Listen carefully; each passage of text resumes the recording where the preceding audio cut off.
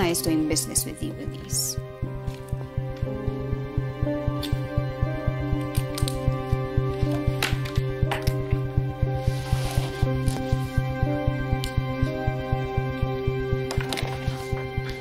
This is not a truce. One day, you will get what you deserve. Kakarmahin ka sa lahat ng ginagawa mo. Diyan ka nagkakamali. Dahil ito ang kabayaran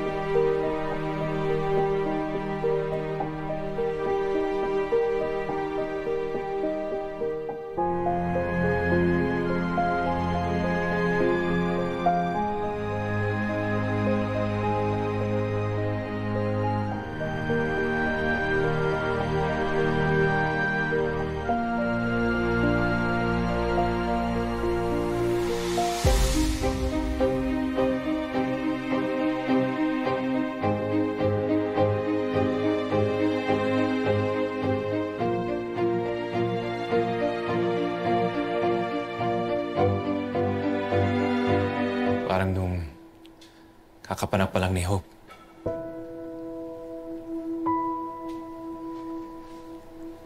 Ay, grabe yung takot natin para sa kanya. She's always been a fighter. Ay, hindi ko in-expect na magsa-celebrate tayo ng Pasko sa ganitong sitwasyon. But I'm still so grateful. Nagkasama pa rin natin siya ngayon. This is her rebirth. Nagpapasalamat ako sa Diyos na pinahiram niya si Hope ng pangalawa pang buhay.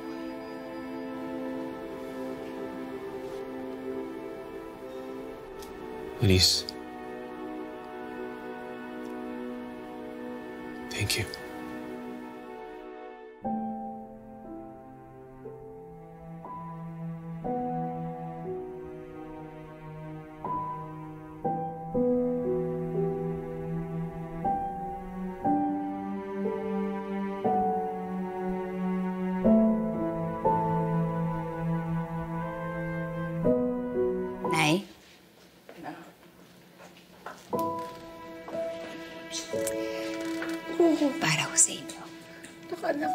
Ka pa rito.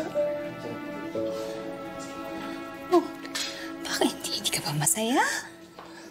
Masaya, masaya ako, anak eh. Kasi pagkatapos ng maraming maraming taon, kayo lang ulit yung unang taon na makasama kita. At saka ang apo ko. Nay, masayang masaya rin po kami na nakasama namin kayo.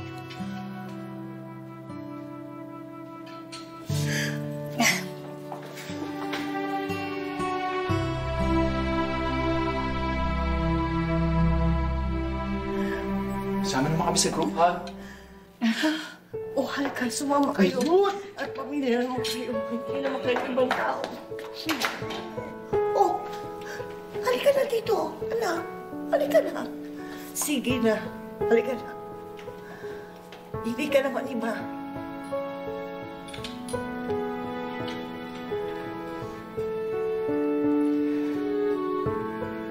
Ngayon na ako nakaranas ng Paskong may kasamang pamilya.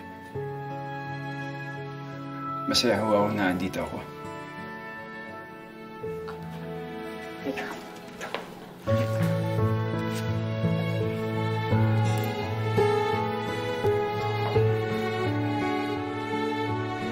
Anak, salamat.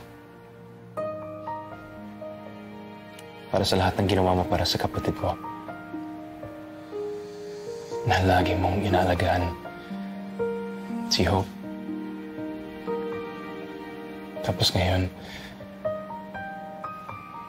niligtas mo yung buhay niya.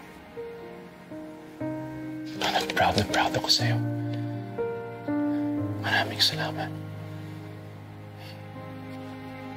Merry Christmas, anak. Hey. Dahan-dahan.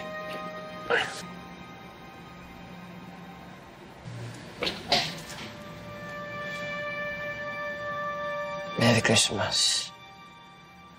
Tito. Nahihiling niya sana akong Christmas gift sa'yo. An ano pa yan? Kung pwede mo na akong tawaging dad.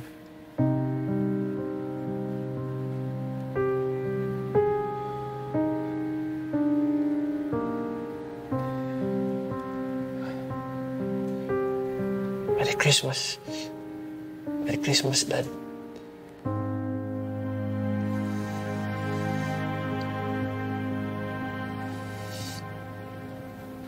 Merry Christmas, Dad.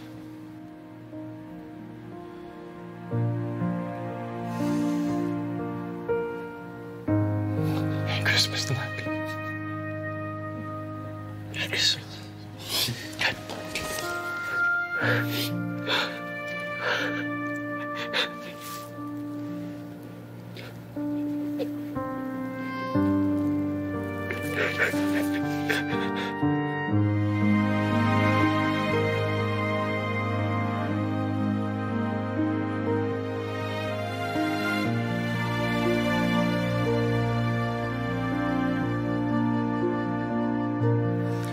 Masaya ako.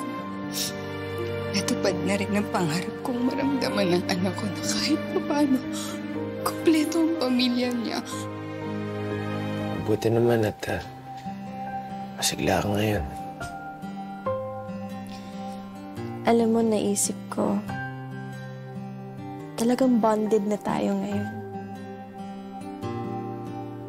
Oo, Timmy. There's a part of you in me. We really are siblings.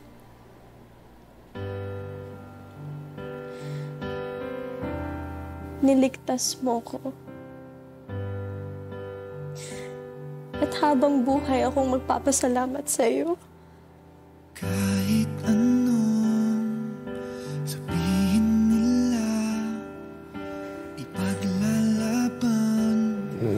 Bagay lang yun. Sabi mo nga, di ba? Magkapatid tayo.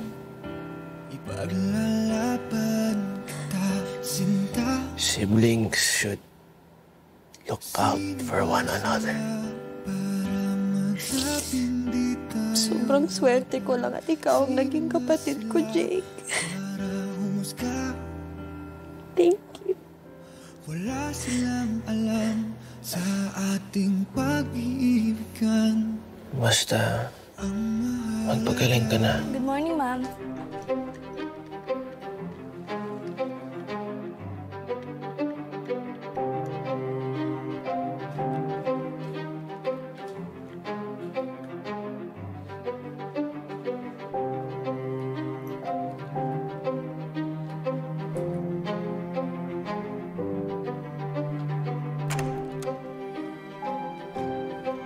Good morning, everyone. I apologize for calling for this meeting in such a short notice. Ako na nga pala ngayon ang bagong co-owner and major stockholder ng Senidosa. Please take your seats. Mm. I believe this seat belongs to me.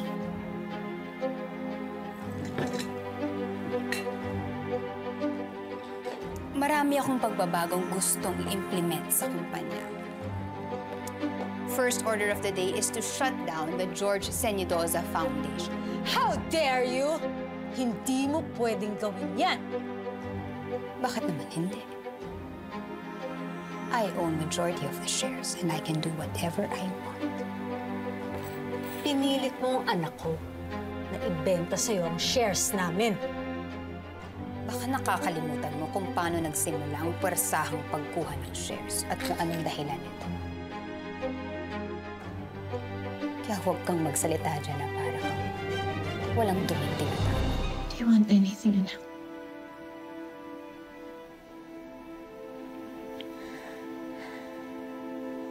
Thank you, Mom. Sa pag-aalaga mo sa akin. I know things have been stressful for you lately. I would do anything for you, anak. I love you so much. I love you, Mom. I love you. Kaya ikaw, magpalakas ka. Okay? Because you mean the world to me. Anak, paano mo napapayag si Elise na ibigay sa'yo kalahati ng parte niya sa kumpanya? Gaya ng dati na. Nagkaroon ng sakit ang anak niya, kailangan niya bantayan, at wala mag-aasikaso sa kumpanya. At alam niya na ako lang ang may kakayanan na magpatakbo nito. Hindi ba, Nay? Noon pa man. Ako naman na nagsalba sa Setidosa na magsasara nito. Yun ba ang dahilan kung bakit pumayag ka na tulungan ni Jake si Hope? Nay, it's a win-win situation. Mabubuhay ang anak nila at makukuha natin kung anong tunay na para sa pero sa maling paraan eh. Gaya ng ginawa niya dito Jorge kay tatay noon. Hindi hindi na ako papayag na gamitin ng mga senidosa. Yung Gabriel, may gusto ko pa dun ah. Anong sinasabi mo? Napansin ko lang kung paano mo siya tignan nung binisita niya si Jake. Ano ngayon? Bakit? Selos ka? Trabaho kong protektahan ka, hindi lang sa pisikal ang panganib.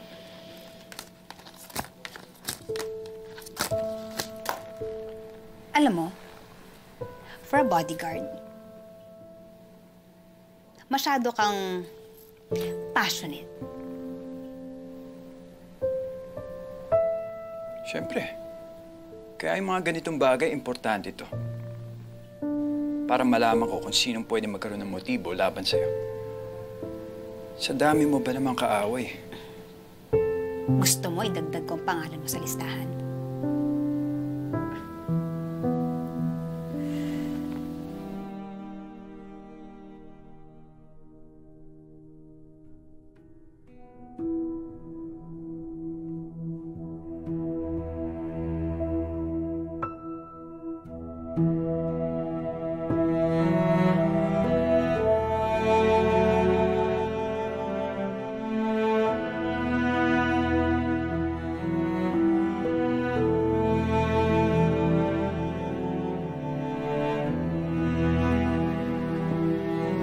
Mga Liz, they changed everything.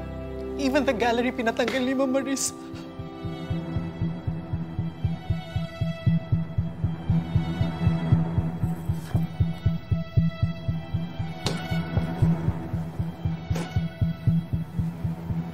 Napakawalang hiya mo talaga. Sana man lang kahit pangalan ng kumpanya at ng foundation at ng daddy ko, itinira mo. na nga lahat sa akin. Pati ba naman ito? Pakasama ng buong pagkatao. Magbabayad ka, Marisa. Magbabayad ka sa ginagawa mong to. Elise, I am the new owner and I call the shots. Kaya gagawin ko kung anong gusto kong gawin. Baka nakakalimutan mo. May kasunduan tayo. One wrong move and the deal is off. Alam ko naman yung pinasok ko. Pero...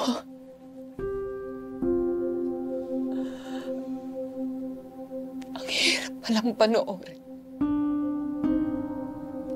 Na unti-unting kinukuha sa'yo lahat ng mga bagay na pinagkaingatan. Anak, panandalian lang ang pagkapanalo ni Marisa. When hope gets better, we will take everything back.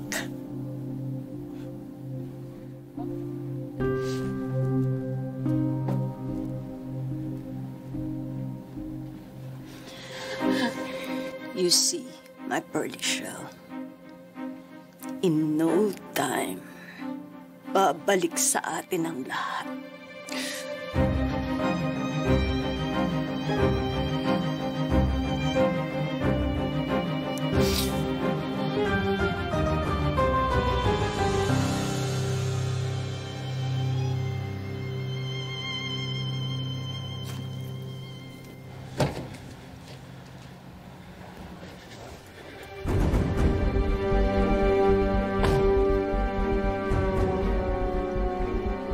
Anong kailangan mo?